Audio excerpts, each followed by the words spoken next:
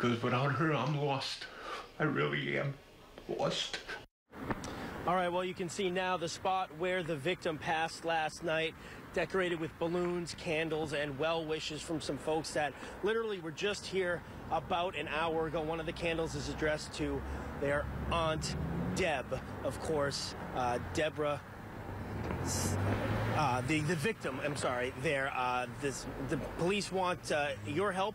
If you have any information about that car, if you recognize it, please contact Johnston Police. Live in Johnston, Tony Gugliotta, NBC 10 News.